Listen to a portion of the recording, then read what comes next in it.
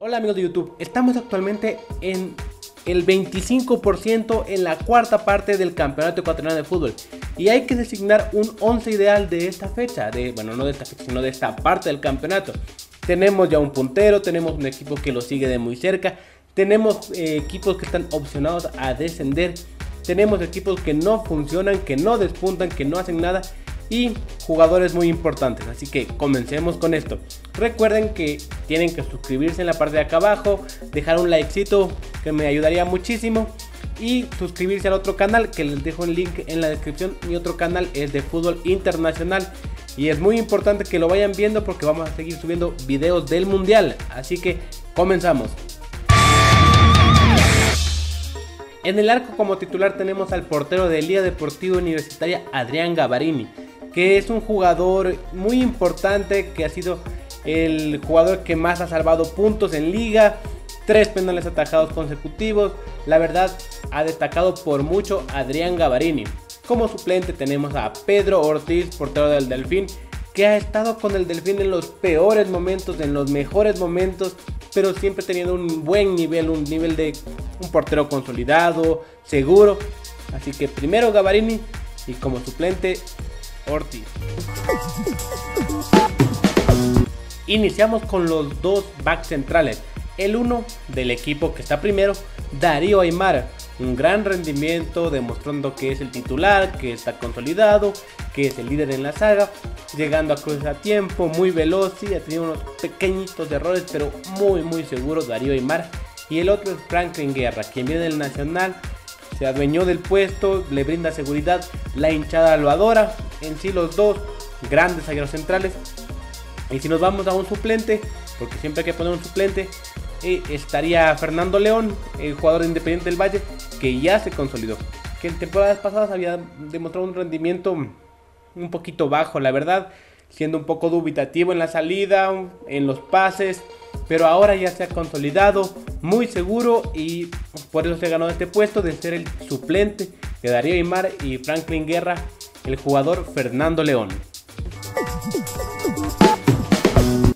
Como lateral derecho, el jugador Andrés López o la hormiga Paredes. Andrés López o la hormiga Paredes.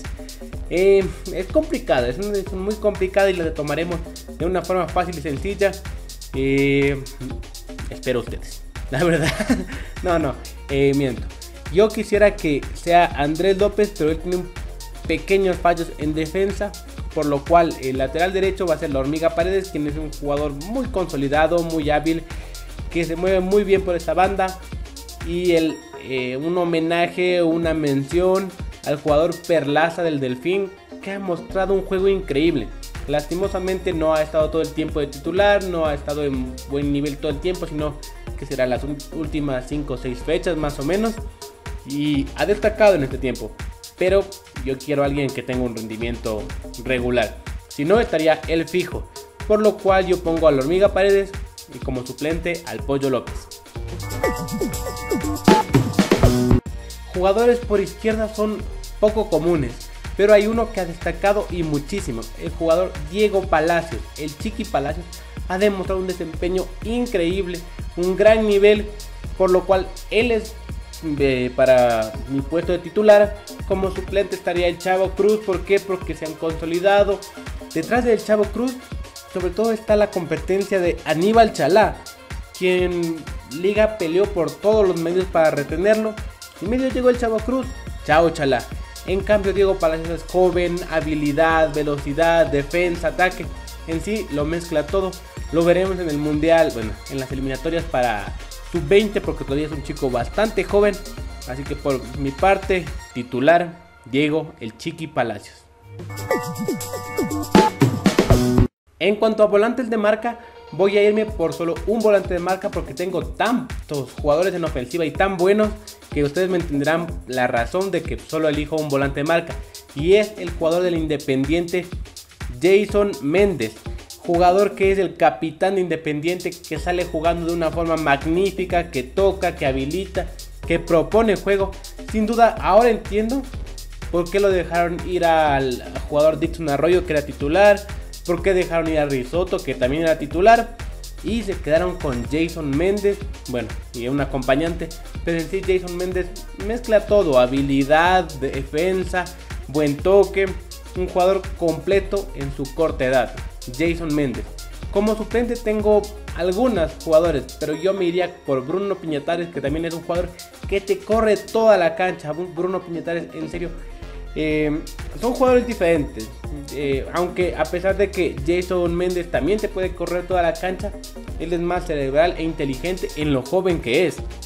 Bruno Piñatares es un jugador correlón que te está quitando aquí, acá, acá. Pero como les digo, solo es un jugador el que tengo que poner aquí en esta posición para llenar las posiciones de arriba. Por lo cual me voy por Jason Méndez. Vamos los laterales, o bueno, los volantes, mejor dicho. Por derecha estaría un jugador que, bueno, se mueve por todo el campo de juego delantero, por el frente de ataque, pero esta vez por llenar, por ocupar un cupo, lo vamos a poner por derecha. El jugador Eric Castillo, la culebra Castillo, que ha sido uno de los referentes del Barcelona, uno de los jugadores cracks que ha destellado su fútbol. Por izquierda, el mejor jugador del campeonato pasado, Ayrton Preciado, un jugador que remata muy bien, gambeta, habilidad Ayrton Preciado jugando muy bien por el lado izquierdo.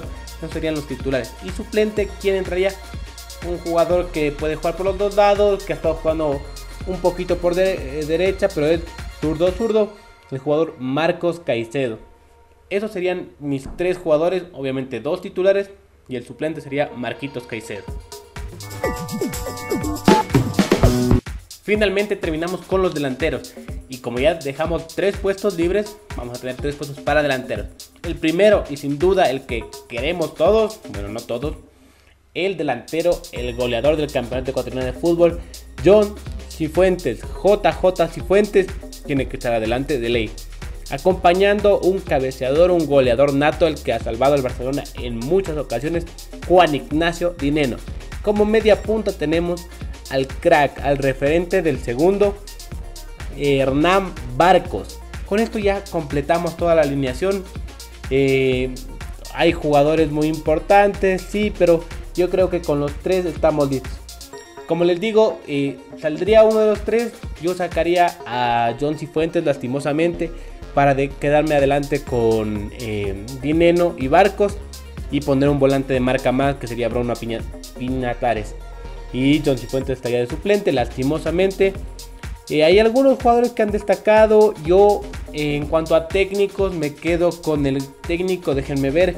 Tenía por aquí, en, justo en mi celular, que tenía al técnico, técnico, técnico.